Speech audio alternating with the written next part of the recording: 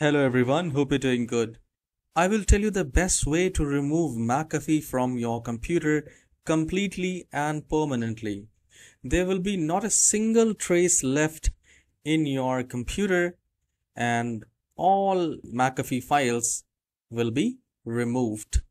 So the very first thing here, open your favorite browser and we are going to install a free software, a Revo uninstaller and it is a very trustworthy application. So just type revo space uninstaller.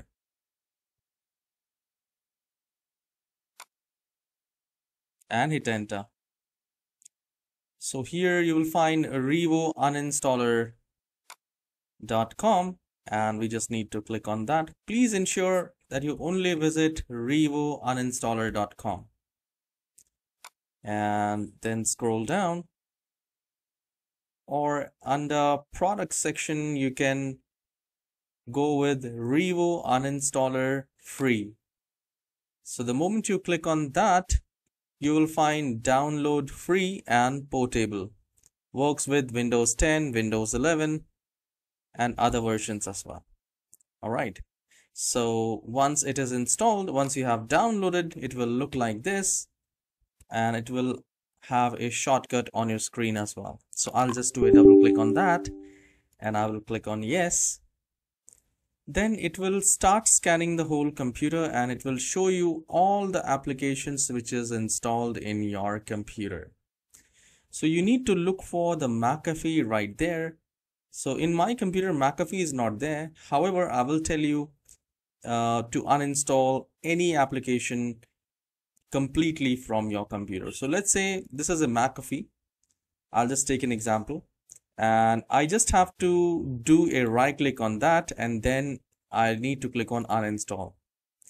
Now before uninstalling it, it will give you an option to make a system restore point.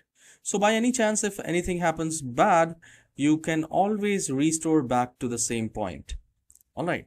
So we will do the check mark, make a system restore point before uninstall. It's a very good practice. And here we need to click on continue and it's creating a system restore point. I'll tell you one, one of the most important part once the system restore point is done. So it has created analyzing and it gives you an option to uninstall um, Steam. So don't do that if you get the option from the application itself just cancel it. And then you will find the scanning modes safe moderate and advanced. You can simply go with moderate and click on scan. Now it will scan the whole computer related to steam. And in your case if you are trying to uninstall mcafee it will start scanning the whole computer. And then it will give you all the things there so you can see here the values and uh, keys are there and we just have to do a check mark under my computer and then we need to delete all these keys and values. So I'll click on delete and I'll click on yes. So in this manner, it's going to remove all the leftovers, files and folders related to that application. So this is how you can uninstall and still again we have found some and you can simply select all found leftover files. We will select all and we will click on delete and we will click on yes.